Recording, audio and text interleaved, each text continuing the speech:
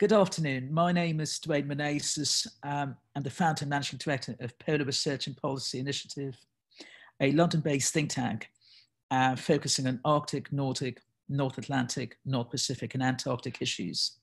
I'd like to welcome you all to this session on bridging Arctic islands. Um, I'd like to say good afternoon because I'm based here in London. I'm not entirely sure where all of you are based, but we'd love to know that. So if you don't mind telling us what you, where, where you consider home, where are you right now? We'd love to have feedback about where you're tuning in from. You can see the poll right there. Do, do feel free to let us know. And also do feel free to introduce yourselves. Papua New Guinea, I see, excellent, welcome. So we do, we have people coming in from Australia, from the Caribbean. Well, on that note, may I, wonderful. So we've got quite a few in Europe and, and quite a few in the Caribbean and North America. Well, welcome all. On this note, may I just say, um, can we start with um, think about the concept as a whole, bridging Arctic islands. If you think about the Arctic, the three ways to look at this, the Arctic as a region of islands, if you look at the north, from the north of Alaska through Canada in particular, the Canadian north is uh, very islanded. And then you look at, you know, Greenland, Iceland, the Faroes, Orkney and Shetland to the north of Scotland. You look at islands like Tromso or Jan Mayen or Svalbard in Norway. And then you go off to the Russian Arctic and again, a great number of islands there. So the Arctic is very much not just an ocean surrounded by land, but it is also a region of islands. There's another way to look at it. It's Arctic communities being islanded communities. There are a great number of similarities between remote communities across the Arctic and island communities across around the world, uh, whether in terms of geographic location, in terms of challenges they face, or opportunities they have. And this is something we will discuss in this session. And finally, a third way to look at the topic is how do we draw the link between the Arctic and island states around the world, either small island states in the Caribbean, the Indian Ocean, the Pacific, or even larger islands like Greenland and Australia, or Iceland and New Zealand, which do share similarities and challenges. So again, a number of ways in which we can draw the link between the Arctic and islands and I do hope you find the session useful as we bring, bring you five excellent speakers. On that note, may I just start with the introductions to our speakers. The first one is James Stockan, who is the leader of Orkney Islands Council. James, can I ask you to uh, make a little presentation for us about your perspectives from Orkney? Indeed, uh, uh, thank you very much, uh, uh, Dwayne, and welcome from Orkney or I'm just going to see if I can get up my a PowerPoint to share here for you, which I don't know whether it's coming on because of the, because what else is coming on the screen. Right, just give me a moment and I'll get the slideshow on.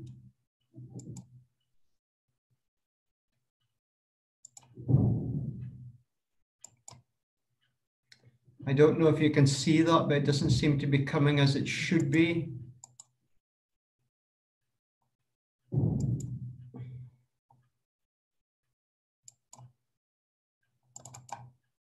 Can you see that? Yes, we can see we can still we can see the presentation, James. So Sorry, it's just the fact that it's not coming fully on my screen as it was do doing earlier on. So I'll just run it as it is because uh, for those that you don't know, Orkney is a group of 60 islands off the north coast of Scotland in the UK. Uh, I would call Orkney a near Arctic place rather than an Arctic place because we're kind of in that transition between the European perspective and the Arctic perspective. But as you can see from my slide, there's been people here for more than 6,000 years. Our archaeology goes way back beyond the time of the building of the pyramids. And there was civilization here who weren't just stuck in the one place, but they were always a moving, traveling population. And through the whole of that 6,000 years history, people used Orkney as a stepping stone to go both north and south. The, the, the, the, the Viking and the Norse kingdom used Orkney as the stepping stone to go north from here to Shetland, to the Faroes, onto a, a Iceland and Greenland, and right round to what they called Vinland all these years ago.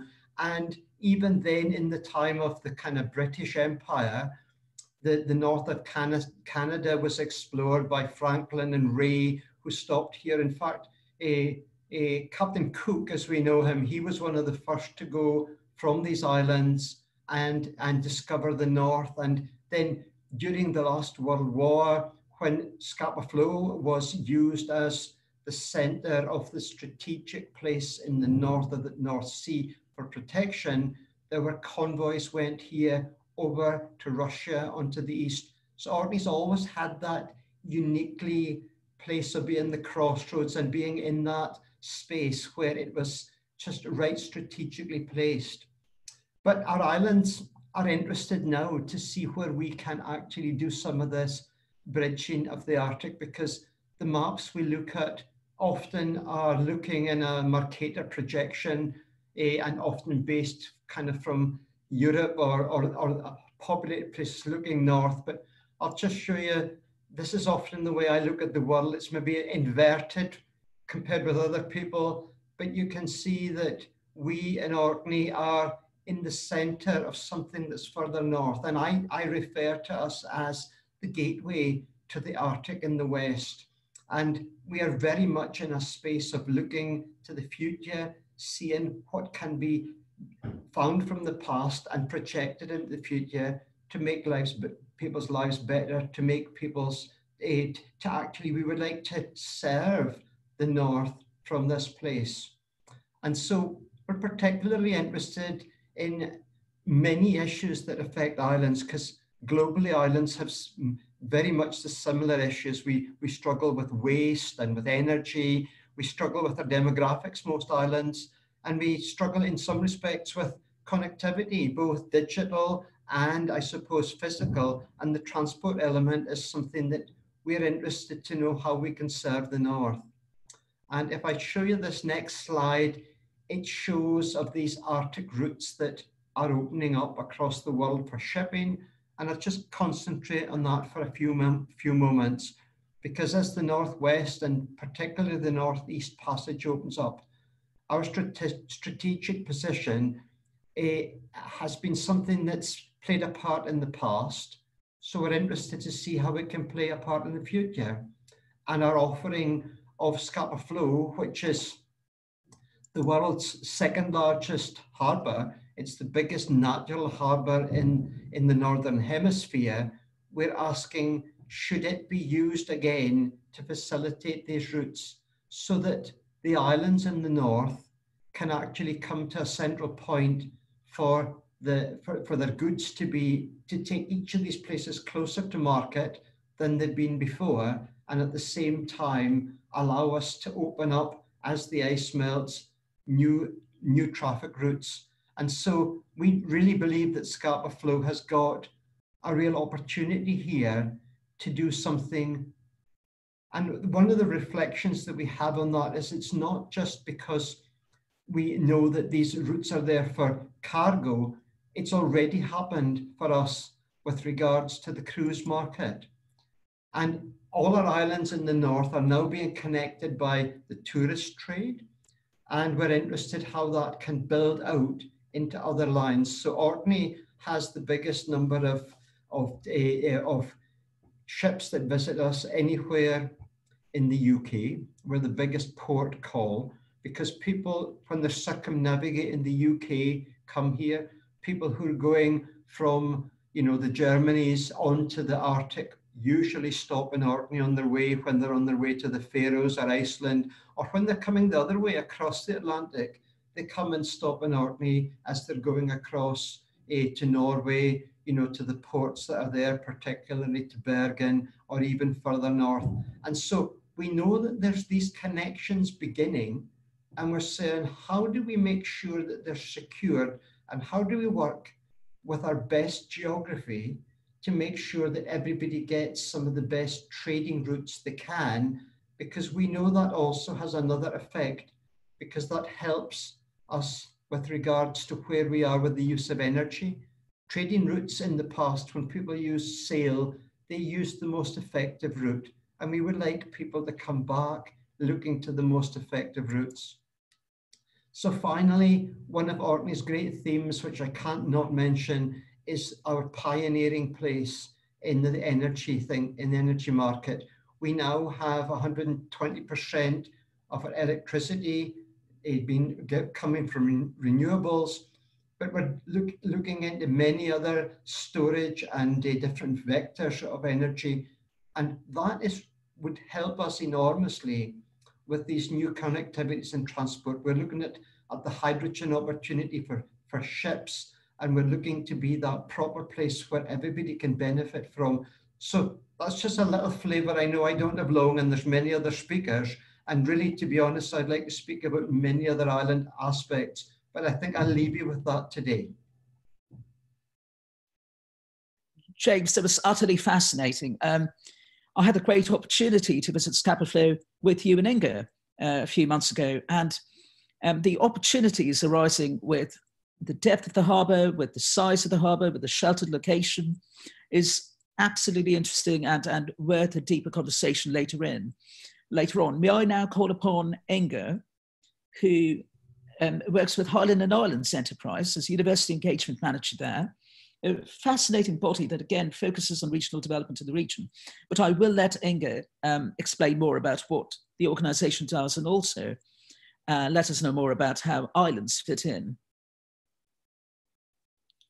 Inga, Thank you very much, Dwayne. Can you hear me okay? Can you hear me okay, That's Dwayne? Okay. Yeah, fantastic. Um, and I'm hoping you can see some slides there as well some nods are reassuring, so that's great. um, so thank you very much for the introduction um, and uh, good to, to hear from you, James, as well. Um, I'm glad just to have made it and linked in to be quite honest. So it's been a bit of a, a frantic morning trying to work out everything, but um, in amongst the gales that are, that are here at the moment. Um, I'm also based in Orkney, but I, I, work with Highlands and Islands Enterprise.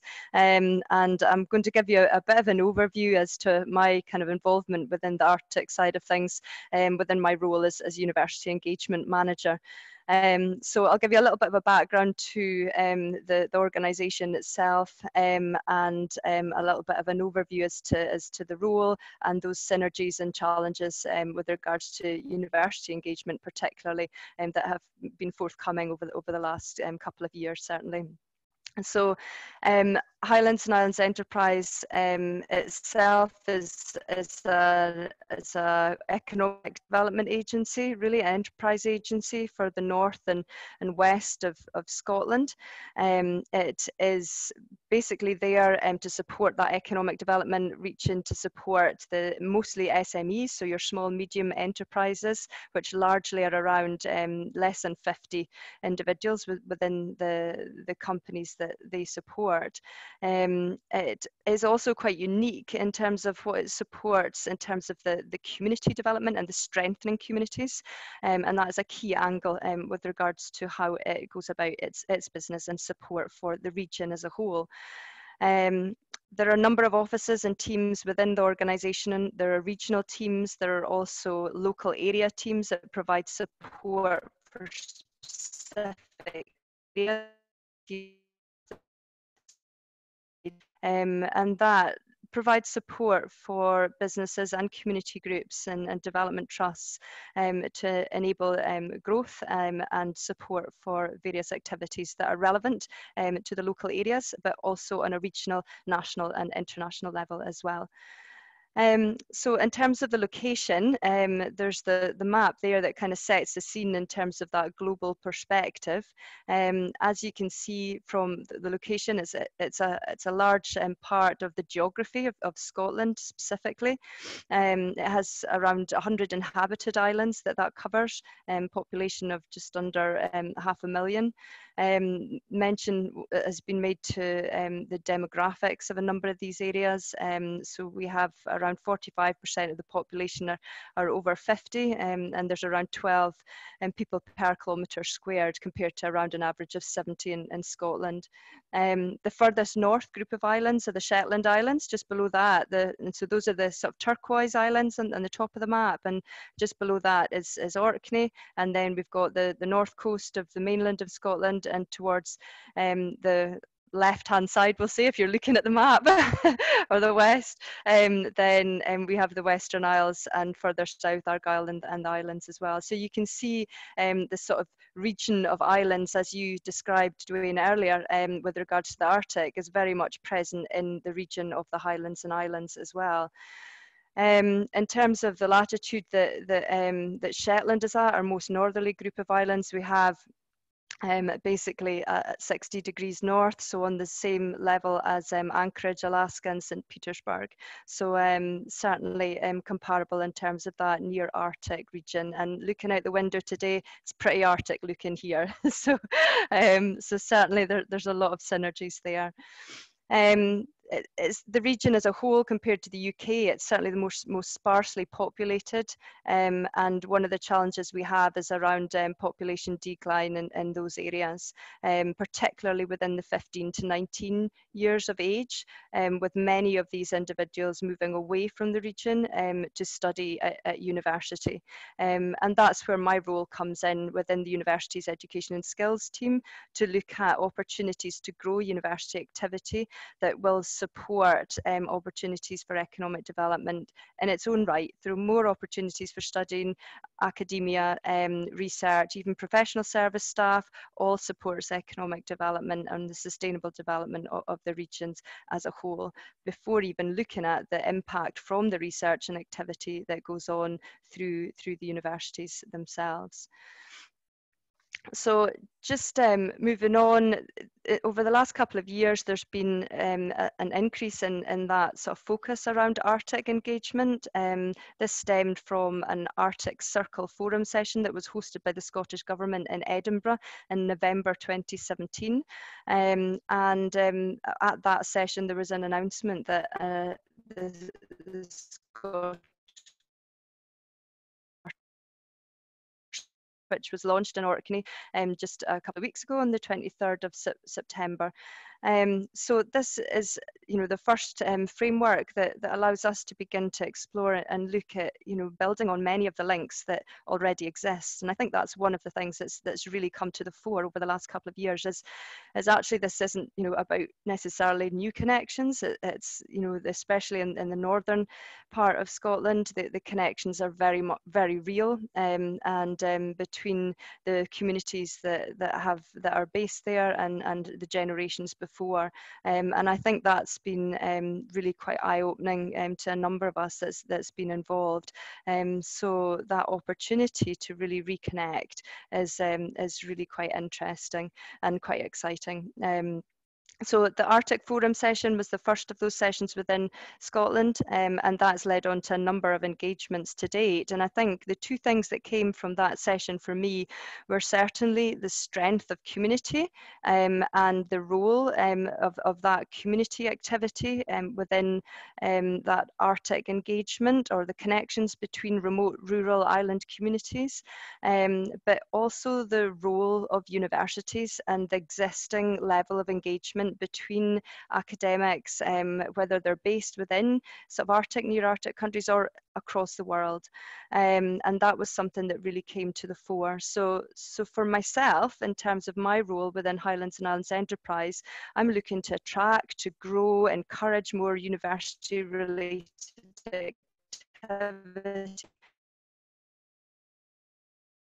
other communities that were in similar situations um, and had similar challenges um, was something that you know was really quite exciting um, and opening up, new conversations. And that's something that we are looking to develop even further as we move through the sort of um, engagement activity. So in terms of our region and, and our islands um, at, within the Highlands and Islands of Scotland, we have the University of the Highlands and Islands, which is a distributed university Um, and, and that has grown up. It's a young university and has locations across our islands, all three island groups, as well as the rest of the region. Um, and that's a tertiary institution that provides opportunities for higher education within schools, right through to PhD opportunities that are largely related to the place and the people and the environment within which it's based. So it could be around um, agronomy and northern um, perhaps, um, suited for northern climates. It could be around archaeology, um, Nordic and northern studies, um, looking also to do with tourism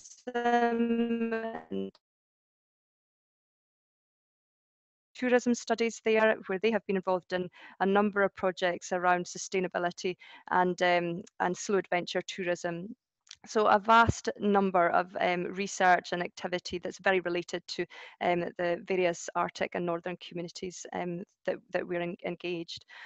Um, so in terms of the, the University of the Highlands and Islands, there's some strategic links with, with Arctic to date, um, particularly through the marine sector um, and the University of the Arctic, where it has um, been a, one of the founding members of that organisation. And indeed, the model of the University of the Highlands and Islands has been something that has informed the development of the University of the Arctic in itself as well. So stretching back, there's been many engagements that, you know, many of us probably weren't actually aware of the extent to which we've had relationships to date. So one of the particular areas is obviously around that marine economy. Um, obviously, our islands um, and coastal areas are, are, you know, key in terms of our, our region, particularly. Um, and many of these, we talk about islands, but some of these uh, locations in our region can be as remote and rural as any of the islands. Um, so um, getting to some of these areas, it's sometimes easier to get to our islands than, than it is to, to get to some of these um, more landlocked areas. Um, and again, that's synergies that we have with some of the, the Arctic regions as well.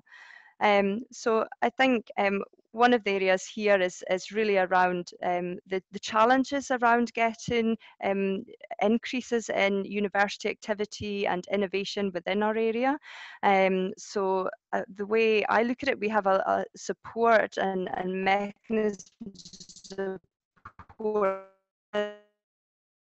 in, in those areas and innovation and businesses um, that often universities are remote from their place and their central um, place as well. So there's an element of understanding the challenges around research in remote places, around supporting that and enabling collaboration and communication and engagement with communities and businesses, which as we all know within island and remote areas, more than often requires a different approach or a tweak here and there or additional investment just to make things happen.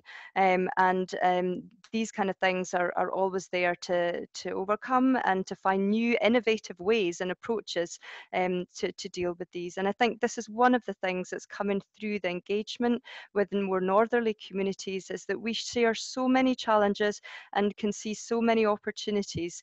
And the barriers that are there are often the same ones. So actually coming together and connecting more around these areas collaboratively um, is, is something we would hope can unlock some of the challenges that, that we all face as well.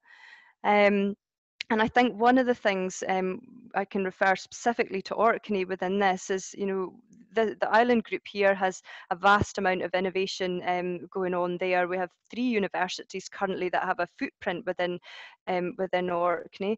Um, and much of that has been around the energy innovation and activity that's come through that. Um, and the, Heriot Watt University in particular has had a small cohort of students that have continually fed um, the emergence of the renewable energy in this industry within Orkney. And that has been critical and essential to enabling attraction of people and um, that talent um, going through into that industry. So although it's small numbers, the value of that for emerging economies in, in these areas and, and island communities, you really can't underestimate how important and that is um, to support and, and take forward. Um, so I think that effort into um, engagement, effort into clustering, effort into collaboration is be underestimated. The value that comes from creating trusting relationships um, is, is essential and, um, and really, really important within these communities. Um, just finally, a, a, a, slide here that, that highlights, we, we, refer a lot to this sort of triple helix uh, with regards to innovation um, and involving academia, government, sort of business and more so the concept of the quadruple helix, which really fundamentally associates the community and involves society within that kind of process. And I think what we find in more of our remote and island areas is this this values that are embedded within our place and within our communities. And, and this looks at the connection with environment and the importance of community-led approaches. And we can see that in many of our island communities um, across the, the Highlands and Islands um, that, that really have a, a, a, sort of proactive approach to some of the challenges that, that have they have come up against in, in many of the areas. So this quintuple helix approach of having a foundation of environment, the natural resources and valuing those with a community-led approach that enables you know the challenges to be set for academia, government, business to, to actually respond to, I think is something that's increasingly important to, to value in, in that moving forward. Um, there's an element there as well with regards to university engagement around respecting that knowledge and, and understanding the, the level of intellectual capital that exists within many of our communities.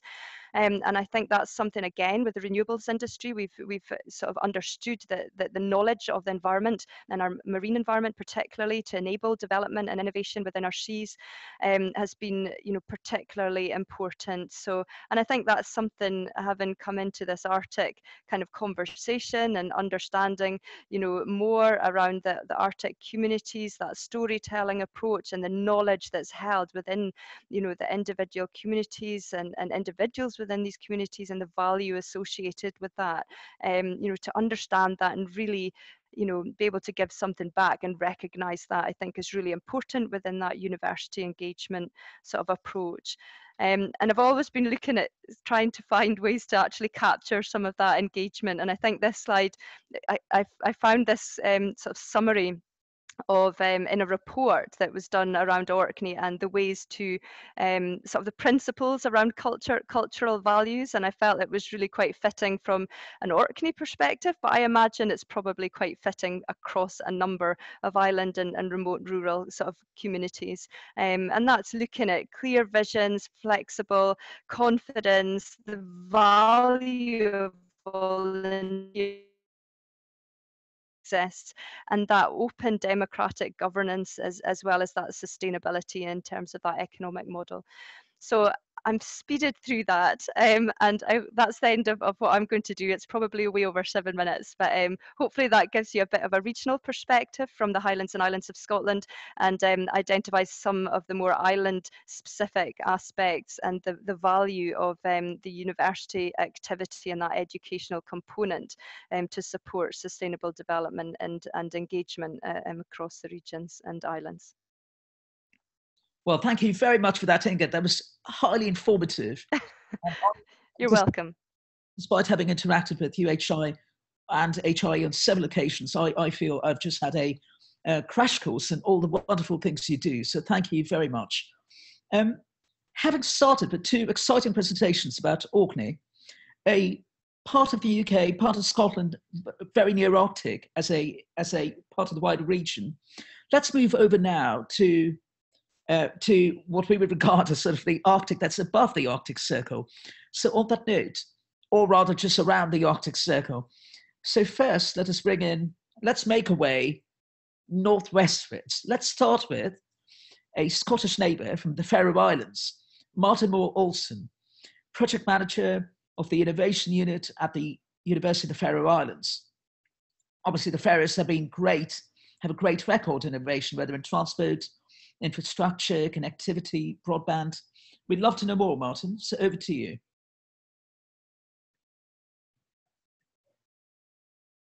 There we go.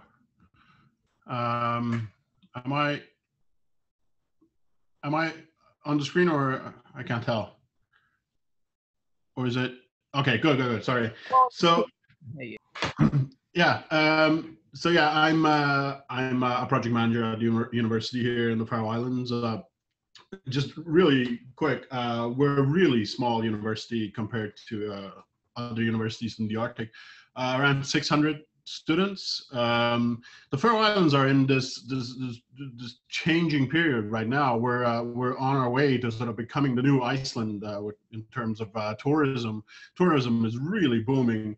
The the Faroese GDP is uh, the highest growing uh, in the Nordic countries at the moment, and so we're in this sort of really strange period. We just had a new we have a new rector at the university. He's he's from Scotland so the university is also, also in this sort of changing process of, of internationalizing and reaching out more than more so than it uh, it has.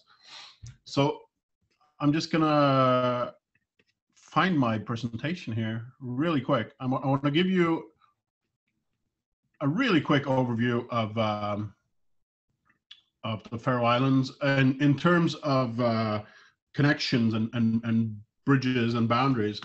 So the Faroe Islands are, are extremely small, as you probably know, and uh, but we we are really really connected to the outside world.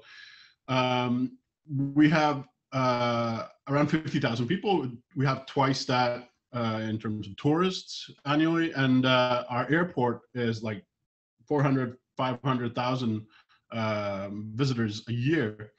So the majority of the Faroe Islands, uh, the Faroe Islanders have uh, lived abroad, studied abroad, worked abroad, or are, like me, I am I'm uh, I'm working abroad as well.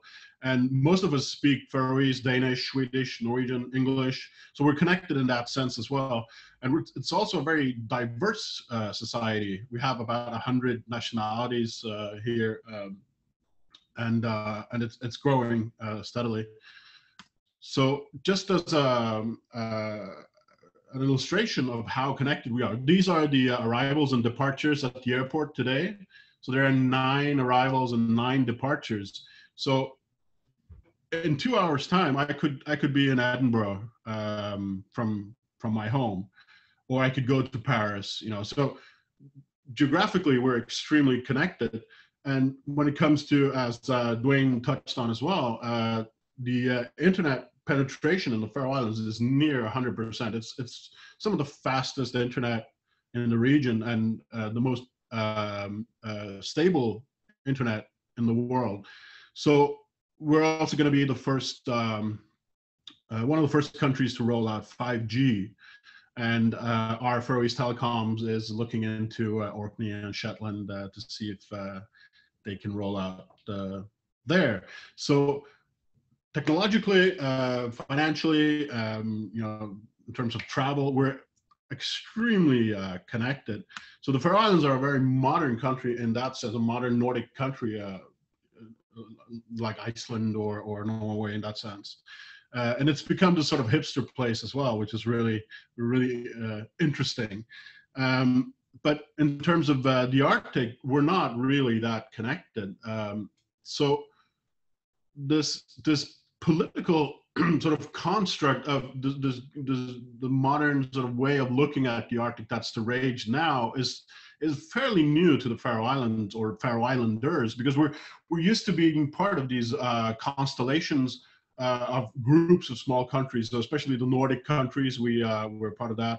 We're part of the uh, a subsection of the Nordic countries called the Nora region. We're also historically a part of the Kingdom of Denmark, and we're also uh, within this academic field, we're part of the West Nordic region, which is Greenland and Iceland and the Faroe Islands. And then we're seeing this uh, new movement from, especially from Scotland. Uh, I don't know if you can call it a post-Brexit Scotland or what's going to happen there, but we're, we're, we're having a lot of meetings, a lot of talks with uh, Scotland uh, in general. And there's, there's a lot of, uh, as James was talking about, there are a lot of historical ties and, you know, people, you know, Shetland and the Faroe Islands are nearly identical if you uh, if you go visit. So um, this uh, the the policy paper on, on your right here is um, is a couple years old now, but it was the first strategy from the the government of the Faroe Islands to sort of take part in the Arctic. And if you if you look at the illustration there, you can see how it's sort of uh, the borders are sort of, sort of jerry rigged to sort of fit the Faroe Islands. um, but in a in a more sort of practical sense, uh, in, a, in, a, in, an academic setting, uh, the Faroe Islands are not very active within the Arctic um, at, at the moment. So in order to sort of combat that, we, uh, we established um, an innovation unit, which started as a as a way for the university to sort of consolidate and to formalize uh, networks and, and uh, collaborations within the Arctic and, and beyond. So I'm a part of that um, um, unit. So we, we, we, we started working on how do we how do we engage with the Arctic? How do we how do we uh, meet people? How do we work on projects? So we're, we've been working on this really, uh, uh, it, it, can, I, will show you, it can seem a bit complicated. It's, it's sort of a framework for engagement uh, that takes a lead from science diplomacy uh, in a sense. And I'll show it to you real quick. It, it's, it's part of a, a chapter I'm writing um, right now. So if you look at the uh, horizontal axes here, um, whenever you have a new project, uh, and let's say in the Arctic, um, we'll, we'll try to ground it within the uh, Sustainable Development Goals, and we'll try to see how many of those we can um, we can address. And then we look at internal operations and uh, does the project uh, relate itself to education and research and, and stuff like that. And then we we uh, we compare it to the mission statements that we um, uh, the university has, so education, research, and, and, dissemination. And then we're working on this fourth uh, mission statement um, called the co-creation for sustainability, uh, where we sort of try to look at solving local issues for, uh, in a practical sense, not so much in a theoretical uh, sense. And we try to sort of bring in st stakeholders, similar to what Ingo is talking about with the helix models, where we're trying to see how far we can uh, go with uh, triple helix, quadruple helix, and, and quintuple helix. And once we have these um, uh, stakeholders uh, in, a, in one place, we, we, we, try to start a collaborative process that hopefully will, the output will be economic, uh, environmental, and social uh, sustainability. So in short, that's that's that's what we're sort of working with. Uh, but um, a lot of these meetings, a lot of these projects, they come from joining uh, assemblies like the Arctic Circle Assembly, the Arctic Frontiers, and so on. Just meeting people, not necessarily academics, but just civil society, NGOs, and, and that kind of stuff. So on the, the image to your right here, you can see four different universities. Uh, this is the University of um, uh, for the Faroe Islands, University of Greenland, Technical University of Denmark, and then you have the College of the Atlantic here. We're all working on a project on uh, educating Arctic entrepreneurs. And we're, this is a project that we just completed and uh, we we use the sustainable development goals as a common language. So whenever we, we, we started something, uh, uh, um, uh, a workshop or something, we had students or staff pick out sustainable development goals that they wanted to work with uh, in order to find sort of a common language uh, around sustainable development. And, and the whole project was based on teaching sustainable innovation, sustainable entrepreneurship. And we, we used, and we tried to, uh, to use uh, real case scenarios in a theoretical sense. So in this case, the students were not uh, producing anything tangible. It was more a theoretical um, exercise. Uh, but that has led us, the success of, of that project has led us to uh, a really big project that we're working on with um, the University of Greenland, Univers uh, University of Akureyri, um, I think it's uh, MIT, the Faroe Islands, uh, Denmark, where we're gonna we're gonna bring them to Greenland. Uh, we're gonna have a week-long boot camp, and then we're gonna have a two-week voyage down the coast of uh, Greenland, and then we're gonna stop at every port and have them talk to to you know citizens at in these different towns, and the whole point is to have them break up in groups and instead of solving theoretical problems, we want them to solve real, real issues in the Arctic. And as they make their way down the coast of Greenland, they're going to have um, coaching and classes and and, uh, and that kind of stuff. And um, it's it's again grounded in the sustainable development. They have to pick one or more sustainable development goal to uh, to work from. We're uh, going to be using the abundance cycle framework, which is Jay Friedlander's uh, framework from uh, uh, the College of the Atlantic. And then we're going to use these uh, these open innovation, social innovation, and, and technical innovation tactics to engage with civil society, government, and so on. And then when we get to um, the Southern Greenland, we're the, the students will have to present their project to a panel and we're going to pick a winner and they're going to receive a cash prize. And then once they return home, uh, local incubators are going to take over to uh, manage the projects uh, onward. So in general, academia, as, as we heard Inga talking about, academia has a, a really vital role to play in building bridges and, and spanning these, these boundaries. Uh, and we need, we need staff and students that are able to span boundaries, not you know, try to look beyond their their daily activities. So if you're a social scientist, you can you can be a social scientist with a, sustainability slant, for example.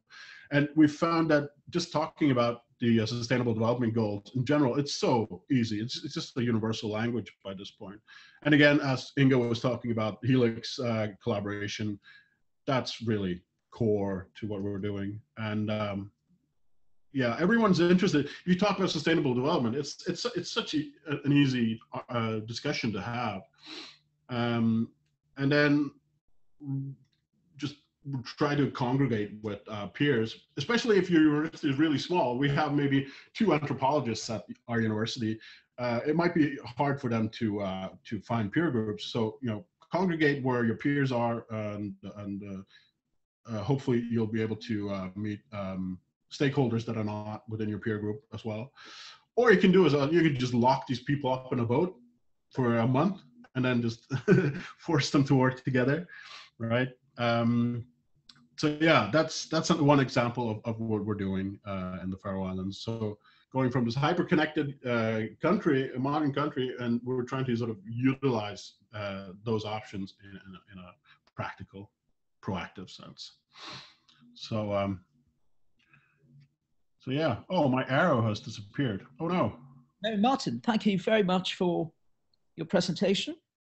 Uh, that was that was very useful. Um, I do remember, Martin, last year when we were the Arctic Circle Faroes, um, yeah. I was I was absolutely impressed when we were going through one of these tunnels and I could still access um, I could still access internet, my mobile data, at a very good speed.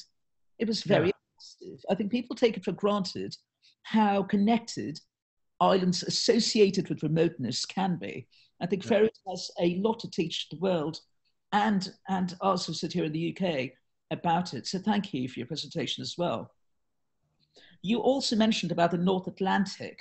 And I think one, one thing we tend to do, those of us who work in the Arctic space, is we look at the world map the way it's been handed down to us with the North Atlantic in the middle and so our imagination, the way we imagine the Arctic, the way we engage with the Arctic, the way we uh, study the Arctic has a, unfortunately, a, a privileging of the North Atlantic. And mm. while the North Atlantic is very important, if you only turn the map around a little bit, if you turn the globe around, the North Pacific is equally important. And that would mm. be hmm. a slightly different picture, where you have Alaska right in the middle of the North, North Pacific Arctic, and of course, you know, the eastern bits of Russia and Korea and Japan all of a sudden become more relevant. You got the Pacific Northwest across the US and Canada, cross border region, again, rising in significance. So as we move now from the North Atlantic to the North Pacific, uh, we're delighted to have uh, a speaker joining us from, I mean, from Alaska. Um, so Alice, may I bring you in now? Alice is the uh, the owner, the publisher, the editorial director of Arctic Today. If you don't know about Arctic Today, I'd highly recommend you look it up. It's a it's the world's only circumpolar news outlet bringing in news from across the region. Um, great place, you know, subscribe there. Great place to get good Arctic news. Alice, over to you.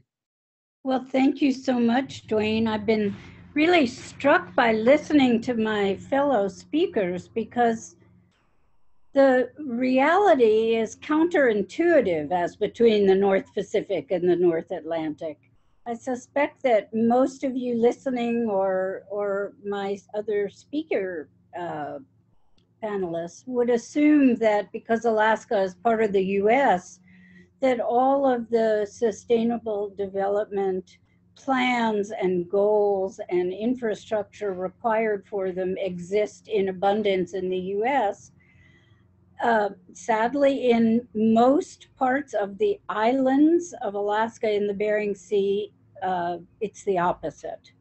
And it's something that's very hard for many of my fellow Alaskan, certainly the, the political leaders, to want to face up to.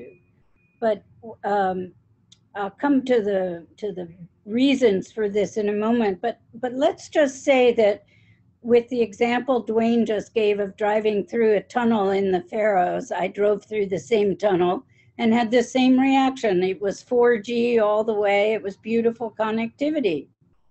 When I go to islands in Alaska, I am lucky to get what is basically dial up speed plus a little bit on a cellular telephone that can't roam or connect to any place else in the world. And as for uh, satellite Wi Fi, there is such problematic connectivity that you couldn't even have many participants there taking place as speakers on a panel like this because there wouldn't be enough signal strength to get through a sentence for them. And this is the United States. one of the one of the reasons that it's complicated in Alaska, of course, is that just as in the Canadian Arctic, there's an overlay of indigenous people's rights and land ownership and political power that is uneven from place to place. But uh, as a as a general rule, it complicates the role that the state government in Alaska or the federal government in Canada can play indirectly, uh, changing the conditions in those communities, sometimes for better, sometimes for worse. It's just simply a different playing field politically. But what that means in the Bering Sea Islands of Alaska is that there's a predominant point of view in the communities that they should be allowed to stay thriving communities for subsistence hunting and fishing, which would therefore frown on much in the way of tourist infrastructure to the extent that might get in the way of harvesting the natural resources. But on the other hand, it also means that there is no basis of an economy locally with which to drive for a conversion from what is still nearly 100% diesel power with a little bit of wind sprinkled in, in contrast to what you in Orkney have, which is 120% renewable energy. So when you when you take the whole picture and you stand back and you look at the circumpolar Arctic region, it reminds me of something that uh, the the wonderful Alaskan senator said a few years ago and that is that there isn't one Arctic, there are three Arctics. And of course, you can do, you can fine tune it much more than that. But there's the Nordic and North Atlantic Arctic, which is highly developed. And then there's Russia, which is not developed at all, except militarily. And then there's the US, Alaska, and Canada, which are, I would argue, closer to Russia than to the Nordic countries in terms of the infrastructure that's required to build new economies. So I've probably shocked some of the people listening to, to hear this from the United States, the first world, but in in the Arctic, I don't think we are the first world. Um, and, and as for the notion of the special significance of islands, the islands in the Bering Sea, as one final point, and then I'll stop, these islands are very, very low lying. The Bering Land Bridge, recall, was um, a, a walkable surface area some 10,000 years ago, which we believe explains the migration of people from Siberia to North America. Well, as a result, the land masses that are in the Bering Sea today have an elevation of, in some cases, five feet, in some cases, 15 to 20 feet. But there are really no mountainous or even Im impressively rock based places. And so they are going to be, to the extent they're not already, as threatened by rising sea level as New Guinea and the Seychelles and Tahiti and so forth. And that also, I think, makes them very different places from the North Atlantic speakers you've just been hearing from, who, due to the accident of geography and topography, happen to live on islands with very high rock masses. So I'll pause there and let you all pick up the conversation and hope that gives you some good food for thought. Thank you very much, Alice. That, that was really insightful. Um, let me pick up on one point you mentioned. You, you brought up in your final remarks about the, you mentioned the small island communities in the Bering Sea. And I'm particularly interested in the communities in the islands along the coast as well, near Nome, and particularly Kivalina, uh, Newtok, Shishmaref, uh, communities that um, are some of the first places in North America, or perhaps the world, to experience climate induced community relocations, which has, of course, become a really important topic in this space. But this brings me to a second related topic, which is what do communities do? How do governments react? What role do societies have when there are disasters, when, when, when calamities happen and how do how do communities respond how do governments respond and again there are sort of formal and informal frameworks of disaster response and disaster uh, mitigation um, disaster reduction so on that note i'm actually really pleased that the next speaker is an expert on disaster risk reduction so can i call upon patricia uh, to, to highlight not only sort of start off with these brief examples I mentioned with Shishmaref, but also to really talk about the areas you really study, which I guess is Svalbard and, and the Caribbean. So over to you, Patricia.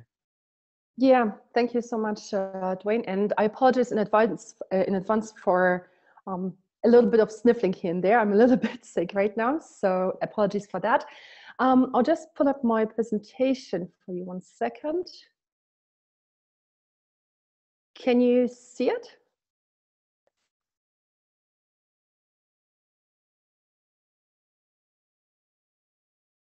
Can you see, hello?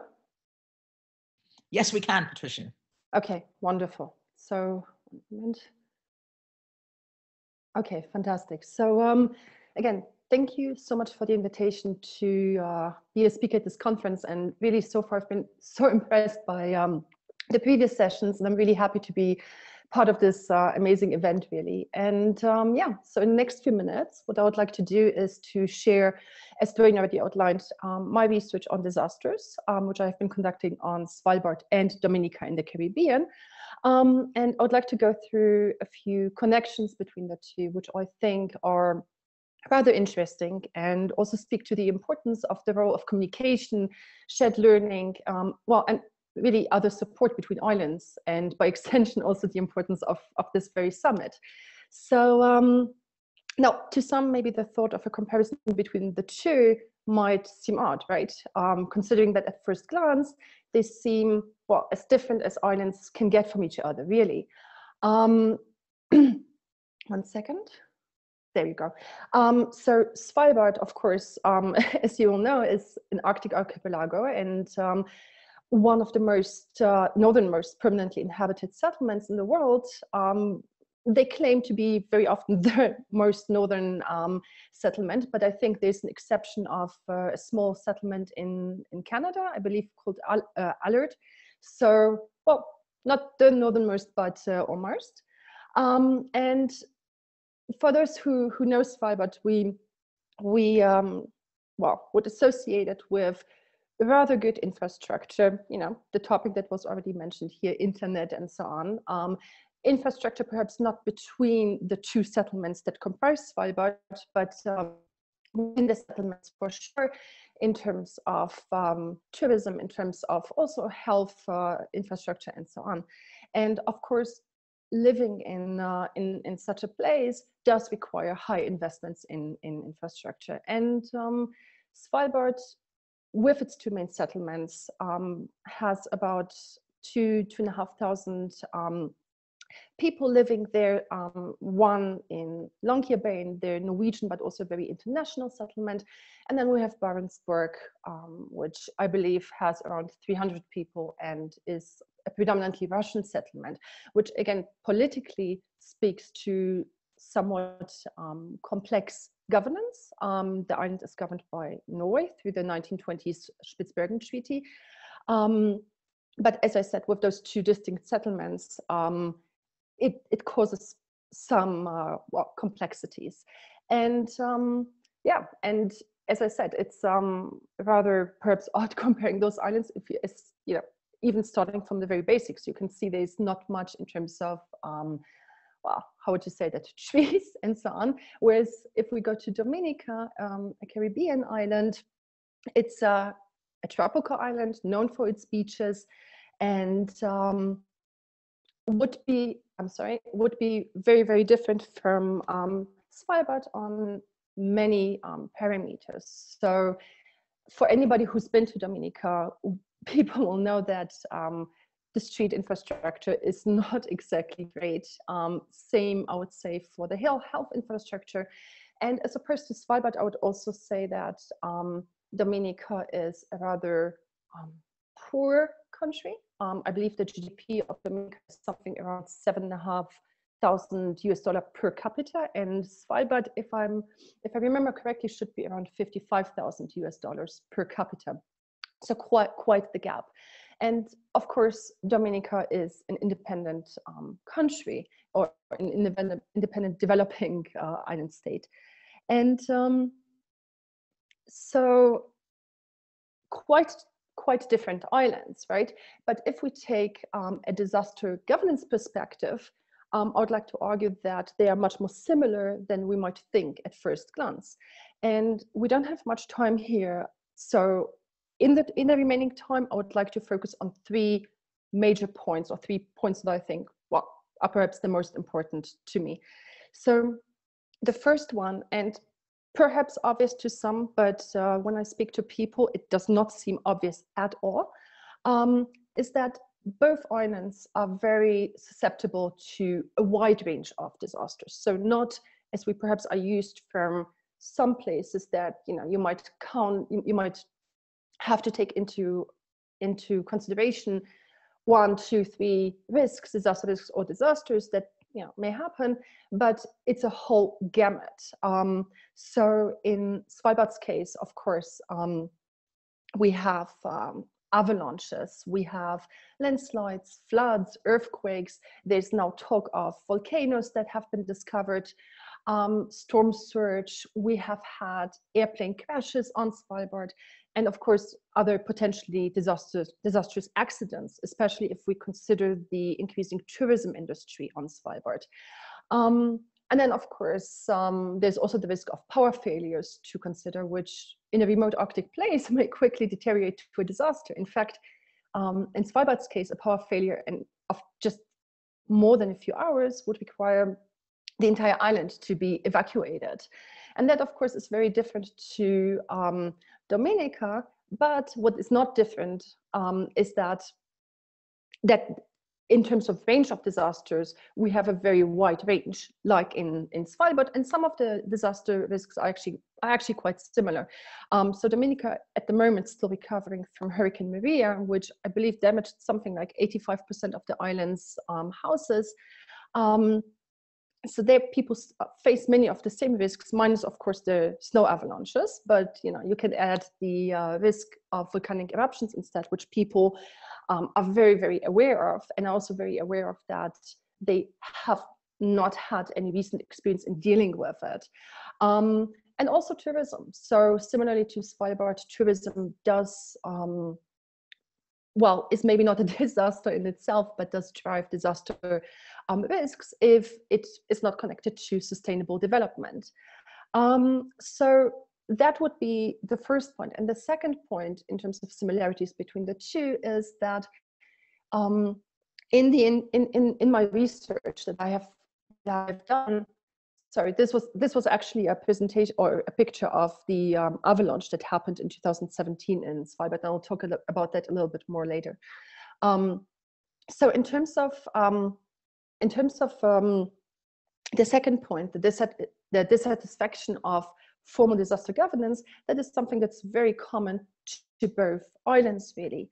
Um, and that might not come as a surprise to some in the case of Dominica when you consider that uh, when you consider some of the classic stereotypical governance challenges of a developing country. So of course you have as we said, the lack of proper general infrastructure and let alone specialized one um, like search and rescue um, infrastructure.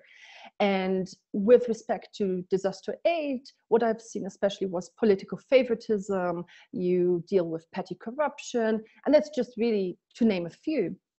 Yet what I think is perhaps surprising, um, that something very similar was the case for Svalbard, which hardly can, can be said to be facing the same challenges, right? Um, and anybody who knows Svalbard, or even Norway for that matter, um, and particularly the northern part that serves Svalbard in the case of emergency, knows of the um, almost legendary status enjoyed by its highly skilled and really well-equipped search and rescue force and disaster governance capacity. Um, and yet in my interviews after you know having heard initially that positive reaction nearly every interview in my research revealed after some time that on Svalbard too there is distrust in the capacity of formal disaster mechanisms.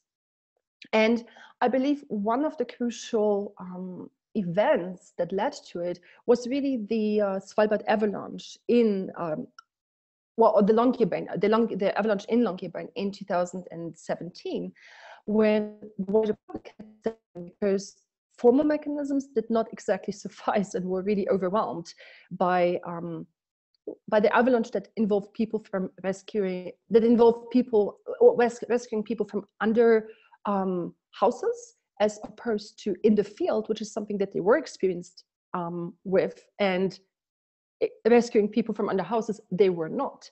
And um, I'm sorry, one moment.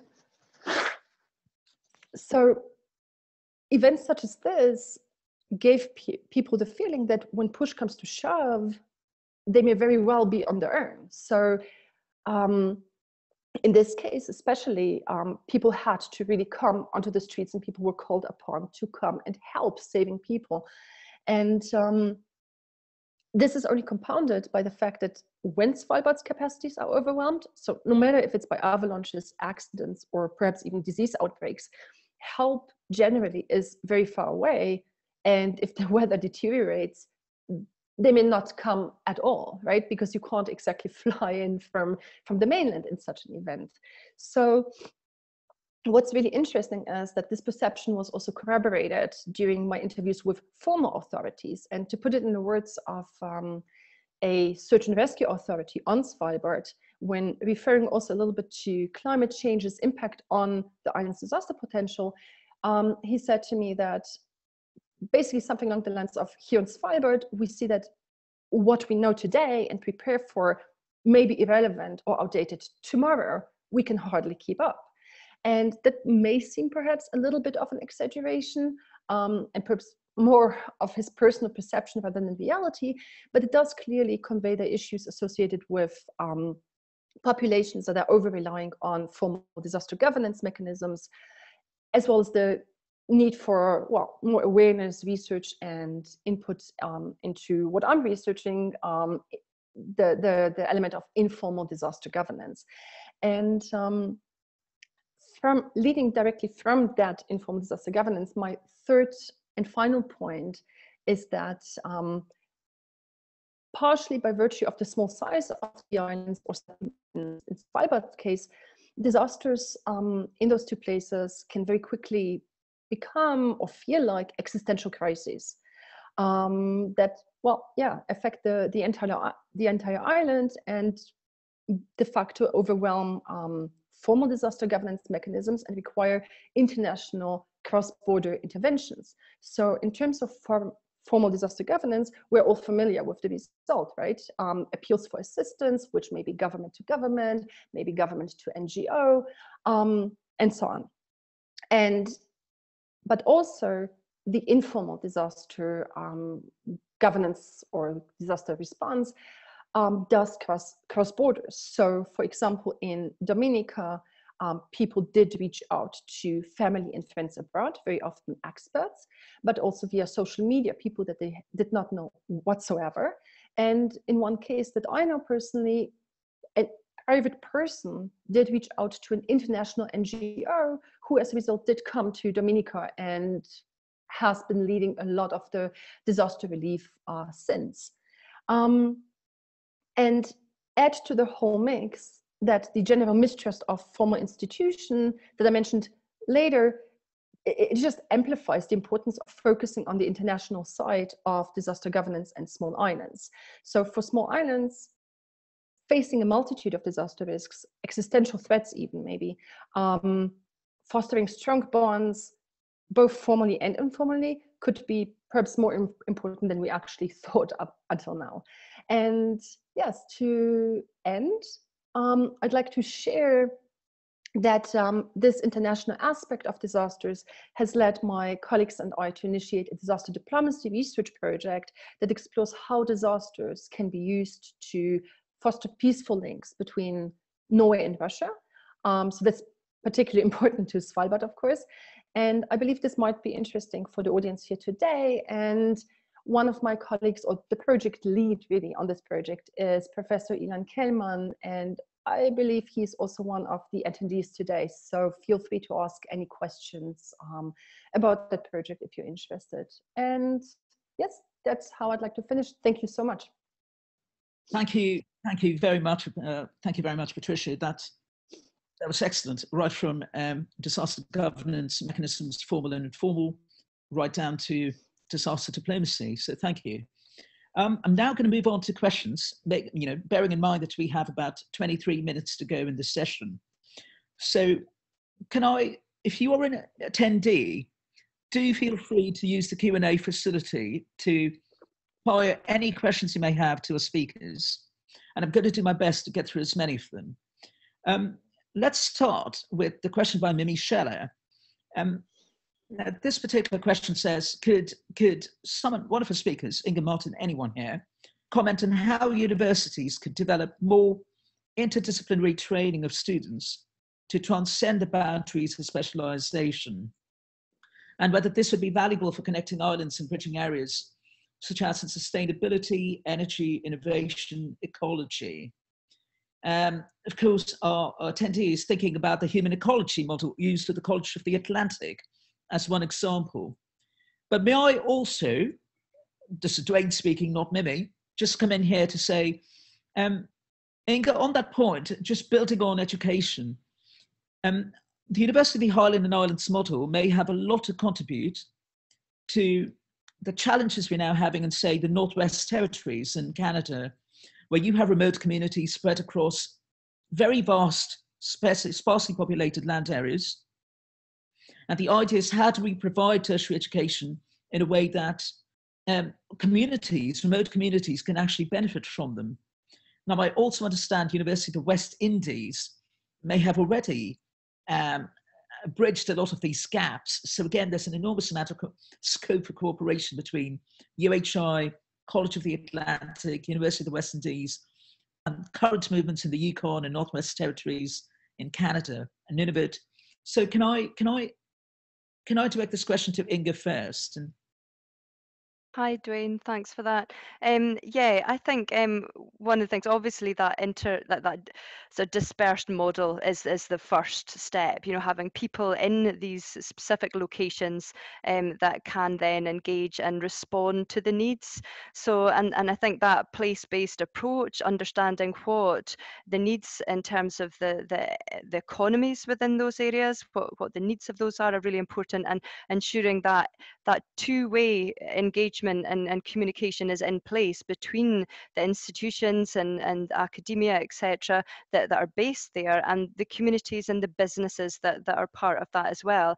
And I think one of the things that can often get missed is that knowledge kind of intermediary that, that, that goes between the community and between the, the, um, the institution itself. So enabling the universities so that they have the capacity to engage is, is something as well as that intermediary to enable communities to engage effectively and come up with those solutions and, and opportunities that, that meet the needs of both because they can be coming at things from different perspectives. There's demands on, on universities to respond and deliver papers and, and, and meet requirements of internationalization. There's also requirements from a community perspective and sometimes these can differ. So it's about understanding the place and having the capacity to engage and uh, effectively within those communities that I think is is really really important. Um, would you like me to respond to Mimi's um, question at the same time, or? Yes, please. That'd okay. um, so in terms of the interdisciplinary training, uh, we've mentioned sustainable development quite a number of times um, throughout these presentations, and I'm sure it's cropping up in many of the other presentations as well and, and sessions. And I think one of the things that I have found with regards to engaging um, from the academic side is looking at, you know, taking people from those core disciplines and bringing them together around that concept of sustainable development. So they begin to come out of their own area and look at at where those interactions are between different disciplines. Um, and, and that then enables and, and highlights some of those cross-cutting themes. Um, and, and that's where that interdisciplinary um, approaches can come certainly from um, the institutional perspective as well. But again, it comes back down to understanding those opportunities within um, the that, that specific place and closing that loop. Thank you, Inge. I, I suppose that's that's your the interview answer, not your tech failing you. Uh, so I'm going to move on. Is there anyone else here who would like to chime in? Do raise your hand, and I will do my best to spot you. Martin. Yeah, I just want to.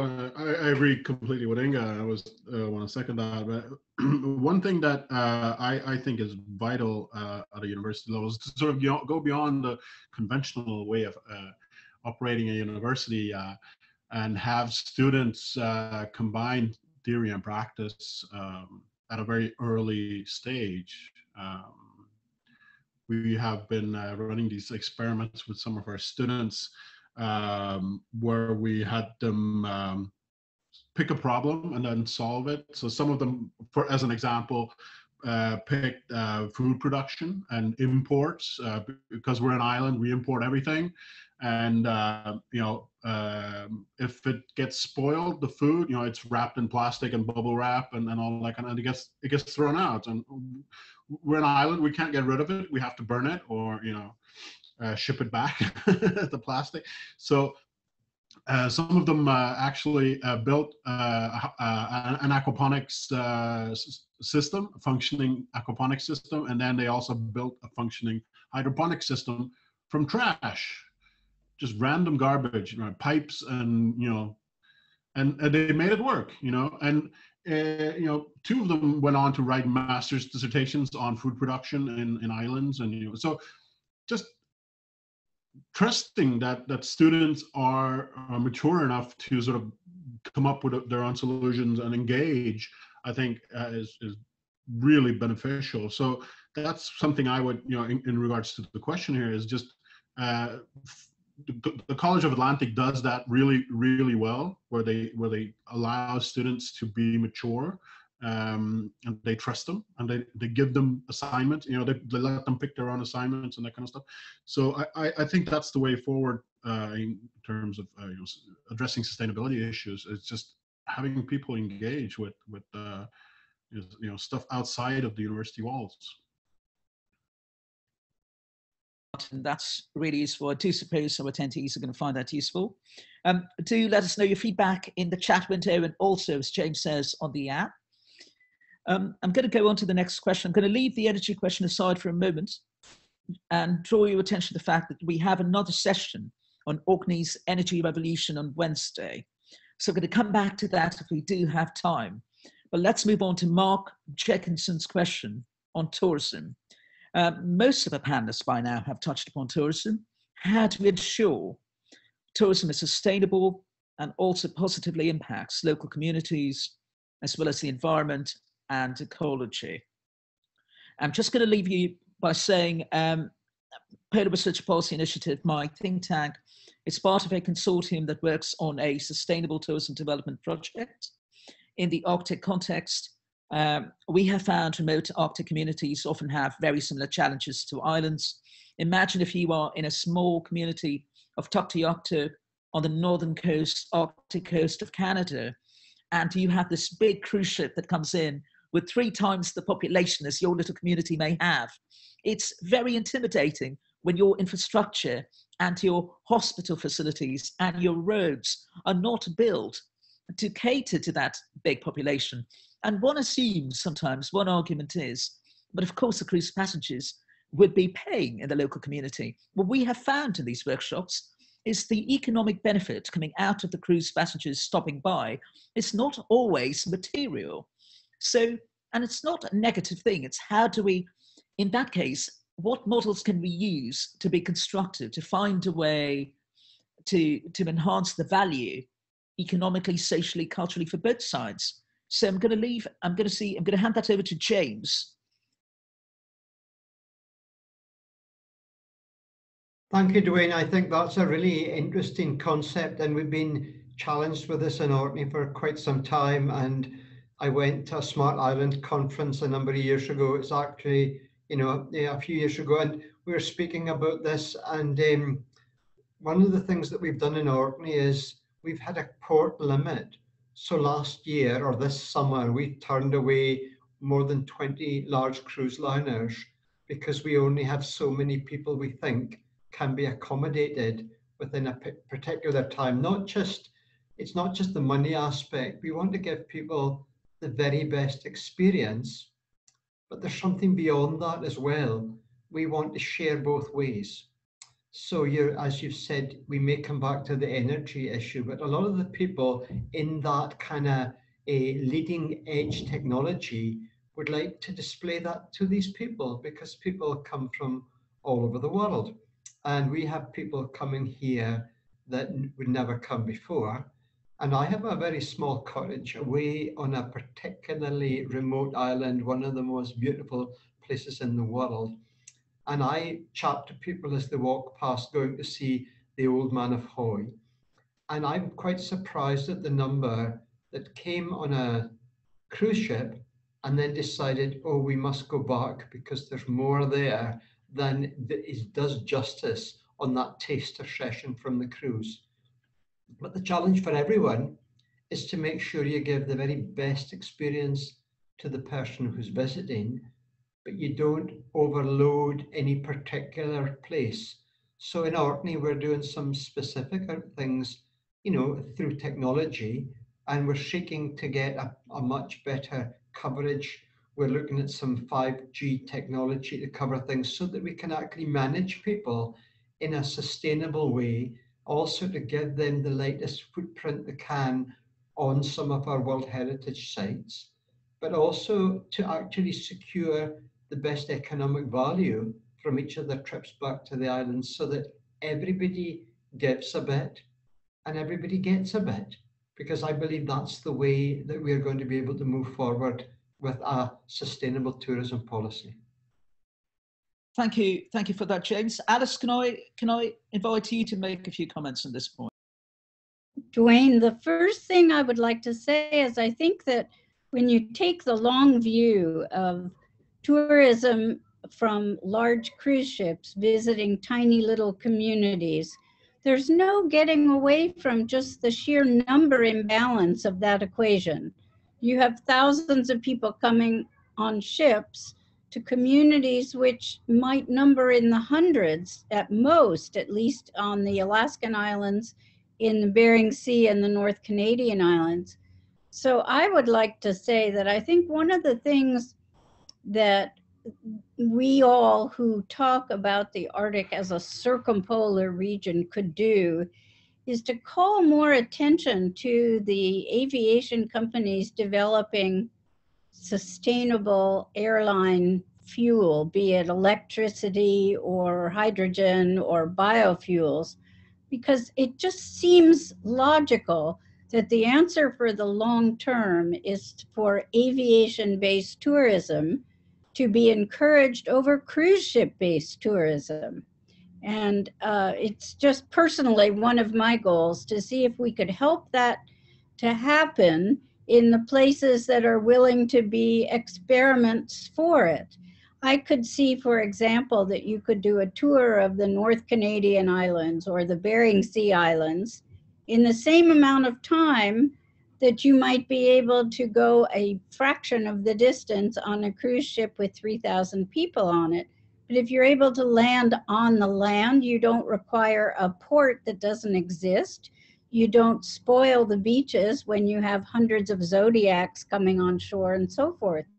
So I just would like to put that out there, partially in answer to the question you all were discussing just before this about a role for universities. I think it's time to put some great minds to work on coming up with a tourism model for the Arctic that is not large cruise ship based. I know I'm going to encourage a lot of anger in the cruise ship industry for having said this, but I put it out there. Thank you. Uh, thank you, Alice. On that, on that note, you've actually allowed me to segue back to energy because one of our, uh, one of our um, attendees has asked, um, let, me, let me go to this, Casey Catus, I hope I'm pronouncing your name correctly. And, and do you mention the transit of large commercial vessels through the northeastern sea route has been discarded by two large container companies, Hapag-Lloyd from Germany and CMA CGM from France. Any oil spill would have terrible consequences in the Arctic waters. However, others argue the ships would use less fuel and consequently there would be less emissions for the northeastern sea route or going that route rather than the longer route through the Suez Canal, the Cape of Good Hope. Um, and so, how would what's your take on this? I would also I would also uh, bring in the point about um, again, James, the energy revolution in Orkney, both in terms of your flights and your ferries. So over to you, James. Yeah, thank you very much. I think we've got to prepare for a changing world, and shipping is one of the tricky issues as far as uh, emissions are concerned. And uh, we do know that ships, like particularly the cruise liners being built at present, are moving on to LNG.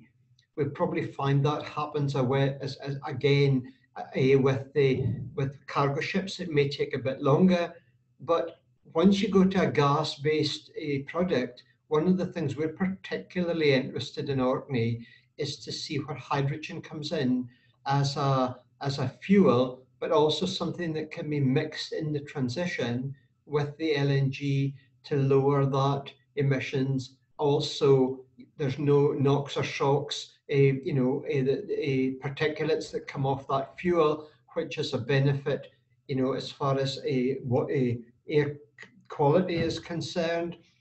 But that, that's a long journey, and we've got to start somewhere now. So I loved what Alice said about flying people everywhere. And that's another interesting space we're in now, particularly that we are producing hydrogen from renewable sources, that people have come and said they would like to try some hydrogen flights from here. We also have another firm looking at battery operated flights for small hops. I think that's a really interesting Arctic issue to do some of these things. And again, there are other low carbon aviation fuels. But one of the things I've often felt with people experimenting on things is they very often try them in very different geographies or places in the world. So you don't have a proper comparison of how they really match against each other. So if we can offer a small test bed or a proving place where people can come with different technologies, we think that would be really helpful so that people can come and try it in one place. We did that with Wave and Tidal, and we found that really useful because it's the same conditions that people you can really see which are going to be the winners and which are going to be the things, the technologies that are worth pursuing. So that's one of the Orkney pitches. Can we help the world? Because we are on a on a time frame that needs you know very fast intervention to make sure that we actually get the results through. So we've said, here we are, we're happy to work with anybody who wants to test these things. Thank you. Thank you, James. That's really useful. You've got a few minutes left, so I'm going to jump to two questions. Number one, Patricia, over to you. I wonder, a question from one of our attendees, I wonder if that distrust in disaster governance remains the same amongst the community the more they move away time-wise from the disaster event itself. I repeat, I wonder if that distrust in disaster governance remains the same in the community the more they move away time-wise from the disaster event itself? Right. Um, I think this is a really good question and um, equally difficult to answer because I think that there are quite a few factors involved in here. And um, perhaps one theory maybe that might be useful is something from international relations called um, st strategic culture. Um, actually, before I get to that, perhaps first, I, I think first of all, it might depend on whether a person was personally involved or personally affected and how much by the disaster. And then extrapolating from that, the concept of strategic culture. So, meaning um, what is the historical memory of a person, but especially a community, so a collective memory. And um, how does that permeate everyday life? Um, so that could be perhaps the experience of, you know, disasters over disasters over disasters happening and being disillusioned with formal disaster governance, um, or the opposite, we would hope. But um, the an, an, example that I would like to give, not Ireland or not by by our um, definition, but the um, country of Israel, for example, which I happen to be familiar with, you see this very very clearly. So Israel or the Jewish people have um, a history of fundamentally distrusting authorities. And in today's Israel, you see that very, very much in when disasters happen, which they do in Israel. You have, you know, floods, and of course you have um, wars and so on. Um, because of that historical memory and resulting in distrust, what you get is people flocking to a disaster to volunteer to help because they do not trust the formal disaster governance mechanisms to do their job right, even though they're actually quite good in that country, but there's just this distrust. So I think it would be a function of, amongst others at least, um, of the strategic culture of a country um, and personal personal memory. I hope that answers it somewhat.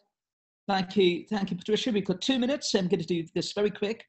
Um, Sharon Yao asks, how did Scotland tackle the controversy over seaweed harvesting and the development of biofuel in the region. Would anyone like to go for this? Raise your hand. right, okay, moving on. Um, Sharon, I think, I'm afraid it's, we got a minute to go. So if you are attendees, do feel free to write to write your questions in the Q&A here or get in touch with us through James, through the app or on Twitter. The Twitter handles are hashtag, you know, I think Island Innovate. If you want to get in touch with us at Polar RPI, there's at Arctic Today for Alice Rogoff, and James is at Orkney Islands Council, and Martin at University of Faroe Islands and Ingrid HIE. So on that note, thank you ever so much for joining us this afternoon.